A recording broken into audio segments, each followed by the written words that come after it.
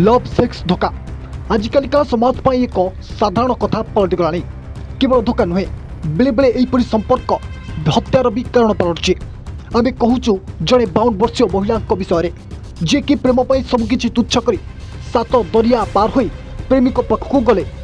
ହେଲେ ଜାଣିନଥିଲେ ଯାହା ପାଇଁ ସେ ସବୁକିଛି ତୁଚ୍ଛ କରିଛନ୍ତି ଦିନେ ସେ ହିଁ ତାଙ୍କ ଜୀବନ ନେଇଯିବ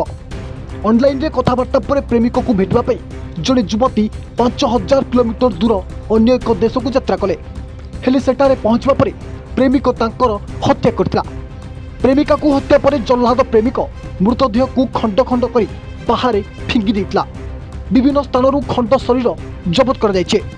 ଅଭିଯୋଗ ଅନୁସାରେ ଯୁବତୀଙ୍କ ଅର୍ଗାନ୍ସ ପାଇଁ ଏହି ହତ୍ୟାକାଣ୍ଡ ଘଟିଛି ମେକ୍ସିକୋରେ ରହୁଥିବା ଏହି ବାଉନ ବର୍ଷୀୟ ମହିଳା ମହିଳା ଜଣକ ହେଉଛନ୍ତି ବ୍ଲେକା ଆର୍ଲେନା ସେ ସଇଁତିରିଶ ବର୍ଷୀୟ ଜୁଆନଙ୍କ ସହ অনলাইন দূ চিনিবা পরে સંપર્ક করিলে কিচি মাস অনলাইন জৰিয়ৰে কথা হয় বাপরে ব্লেকা জোনক भेटিবাকৈ 5000 কিলোমিটাৰ পথ অতিক্রম কৰি ওয়াচৰত পোনছিলে সেটাৰো বেংকক দেখা সখ্যত হুইলা নৱেম্বৰ 7 তাৰিখে জোনক भेटিছিল ব্লেকা এপৰকি এই সম্পৰ্ক সে নিজৰ পৰিয়ালৰ লোকককও বি জনায়েইলে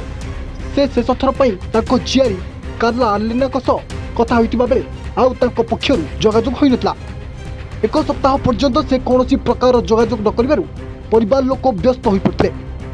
ଶେଷରେ ପରିବାର ଲୋକ ସୋସିଆଲ ମିଡ଼ିଆରେ ଡାକାଙ୍କ ଫଟୋ ପୋଷ୍ଟ କରିବା ସହ ତାଙ୍କ ପତା ଲଗାଇବା ପାଇଁ ନିବେଦନ କରିଥିଲେ ଏହା ସହ ଜୁଆନଙ୍କ ଏକ ସ୍କ୍ରିନ୍ସଟ୍ ମଧ୍ୟ ସେୟାର କରାଯାଇଥିଲା ଏଥିରେ ଜୁଆନଙ୍କୁ କହିଥିଲେ ଯେ ବ୍ଲାକା ଏଠାରେ ବହୁତ ବୋର ହେଉଛନ୍ତି ସେ ଯାହା ଚାହୁଁଥିଲେ ମୁଁ ତାହା ଦେଇପାରିଲିନି ଏଥିପାଇଁ ସେ ମେକ୍ସିକୋ ଫେରିଯିବାକୁ ନିଷ୍ପତ୍ତି ନେଇଥିଲେ ହେଲେ ଘଟଣା କିଛି ଅଲଗା ଘଟିଲା ବ୍ରାଟାଙ୍କ ନିଜ ଘରକୁ ଫେରିବା ବଦଳରେ ତାଙ୍କର ମୃତଦେହ ମିଳିଥିଲା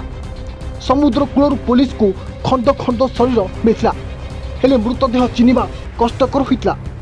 ଯେତେବେଳେ ଅନ୍ୟ ଏକ ସ୍ଥାନରୁ କଟା ଆଙ୍ଗୁଠି ମିଳିଥିଲା ଏହାପରେ ପୁରା ଘଟଣାର ଖୁଲାସା ହୋଇଥିଲା